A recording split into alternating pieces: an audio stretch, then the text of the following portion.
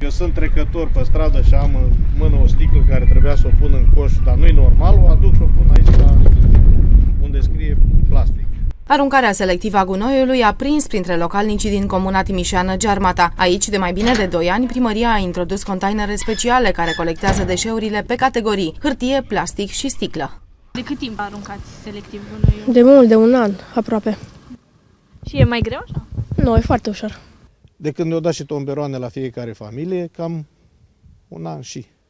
Deci de atunci cam... Și vă este greu să aruncați așa selectiv? Nu e greu, mai ales că eu sunt la doi pașaci. Ce aruncați în fiecare zi? Nu, bidoane, flacoane. Nu e bine să aruncăm pe jos. Stricăm natura. Peturile timișenilor devin materie primă pentru investitorii din Caracal. Începută ca o afacere de familie în care s-au investit mai bine de 5 milioane de euro, fabrica are în acest moment o cifră de afacere anuală de 10 milioane de euro.